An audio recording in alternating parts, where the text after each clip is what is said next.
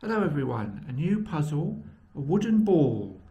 I bought it from a company in China and it came in a padded envelope and then inside it's got this plastic wrapping and made of wood, pretty colours, pastel colours, very duck egg blue I think that's called and a pale pink and then natural wood colour. So, looks pretty. Let's unbox it. So I'll use a penknife to take to open the plastic wrapping.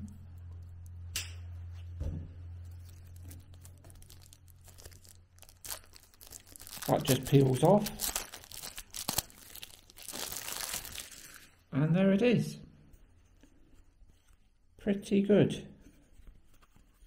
Right, let's go about taking it apart.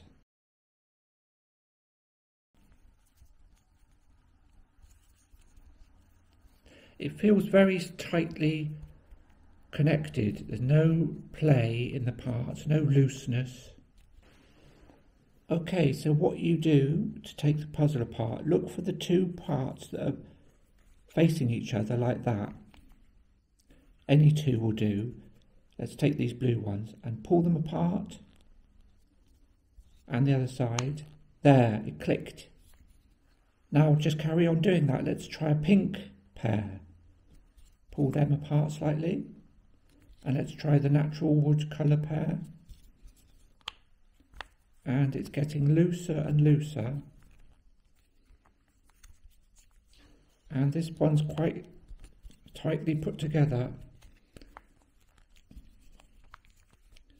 So it needs to be pulled apart quite a lot.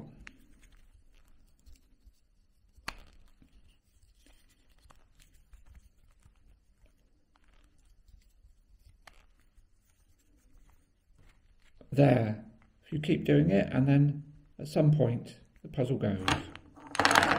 Whee!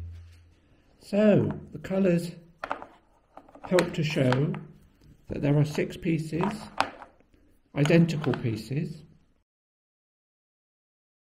Okay, let's put the puzzle back together.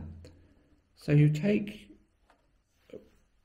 one piece, it's got a pyramid in the middle, and get it so the tips of the pyramids meet, a different coloured piece, and another one in the top, different colour. So you get that arrangement. Then you want pieces in the sides. So that goes in there, one side. And let's do another piece this side, like so. And you've got a sort of well, little dip. And the last piece goes in there. Very loosely cup the ball in your hand so that it can come apart and maneuver the final piece in. It's slightly tricky, like that. And then just squeeze the pieces together. However, that works.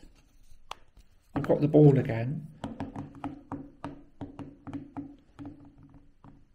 But the pieces aren't the colours. If you've got some puzzles, they're all one colour.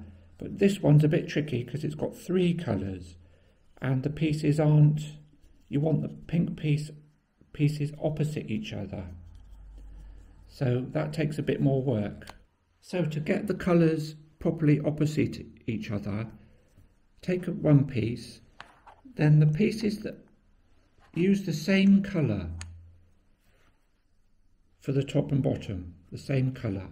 And again, the same colour for the sides. So blue on the left, blue on the right. Cup the ball loosely, the last piece in the middle very carefully.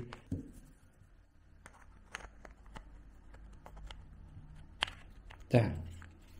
And now you've got the pieces correctly opposite each other, correctly aligned.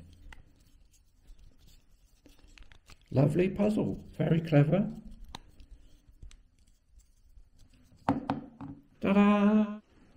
Hope you enjoyed it.